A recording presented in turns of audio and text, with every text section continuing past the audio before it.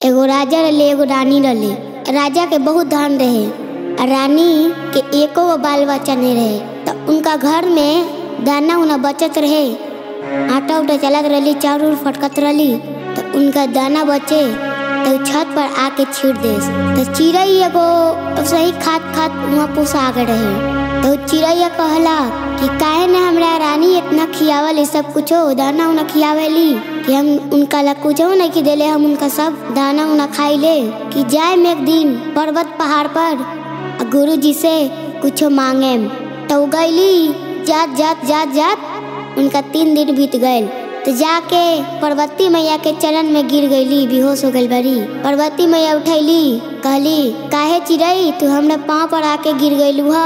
तुहर का समस्या बा? ते हमरा से बोला चिड़ई कहली कि माता, एगो राजा बारे, एगो रानी बारे, हम उनके छत पर दाना उना खाइले से उनका एको गो बाल बच्चा नहीं खे रानी के यही हम मांगे निहरौरा से। तो पार्वती मैया बोली तो का हम जाए तनी भोले बाबा से कहे। तो भोले बाबा से पार्वती मैया कहली कि, भोले बाबा, एगो चिड़ई हमरा आके चरण पर गिर गईली ह। तो भोले बाबा कहलन कि, का समस्या बा? तो कहली कि, एगो राजा बा, एगो रानी बा। उनका एको गो बाल बच्चा नहीं खे हमरा के दाना उना खियावेली कि उनका लगी हम मांगे नहीं बाल बच्चा। उनका एको गो बाल बच्चा नहीं खे।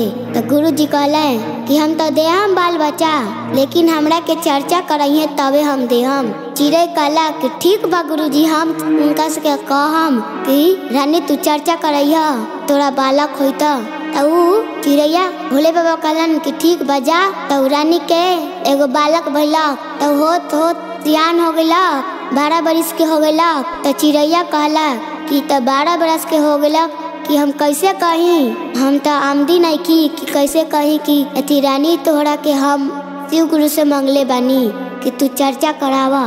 तो एक दिन ऐसा ही होत होत शिव गुरु के याद पड़ल। पर्वत पहाड़ से जोगी के रूप धके आइले रानी के घरे। गुरु जी कहले कि, बालक, कुछ खियाओ, कुछ पियाओ। तो राजा कहला कि, जा जा, हमरा घरे कुछ नहीं के खाइला रानी कहली कि बैठी बाबा हम लेके आव तनी भोजन। चट्टी उट्टी बिछा देली। वही पर बाबा बैठ गईले लइकावा अपना बाबू के गोदी में बैठ रहे। तो रानी गईली खाना उना काट के रख देली बाबा भिड़ी। तब पूछले बाबा कि रानी, तोहर बालक कहाँ बा?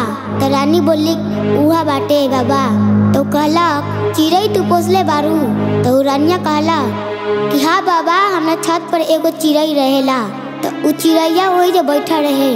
गुरु जी भी तो चिड़ैया बोलत रहे आ रानी भी नहीं बोलत रहे। तो बाबा याद पड़वैले कि रानी, उ चिड़ई नू तोरा लगिर हमरा से बालक मंगले बा। कि तोरा के कुछो कहला तो ने बाबा, हमरा के कुछो ने कहला तोरा के कहले होई, लेकिन उ तोरा सुनाई ना देले होई। चिव चिव बोलत होई, लेकिन तोरा सुनाई ना देले होई। तू चर्चा करइहा। अंत बालक वापस चल जाई। राजवा कहला कि, बाबा, तोरा जाई हमरा घरे से। कि हमरा घरे कुछ चिड़ई उड़ई नहीं खे अन्य हमरा घरे चर्चा होई। रानी कहली कि, बाबा, हम चर्चा कराई लेकिन हमर बालक रौरा ना ले जाई। बाबा, चल गए भोजन उजर करके। रानी कहली कि, हम चर्चा ज़रूर कराइब लेकिन हमर बालक वापस ना जाई। बाबा गईले पर्वत पहाड़ पर। और सब देखते रहे, चिड़ैया चिव चिव करता। तो बाबा से जाके कहला चिड़ैया, बाबा हम चर्चा करवाई हम बोलब हमरा के बोले के वचन दी। तो कहलक कि ठीक बा चिड़ई हम तोरा के मनुष्य में बदल दो थी तू जा कहिया तो बाबा मनुष्य में बदल दिले और पैर उठा दिले।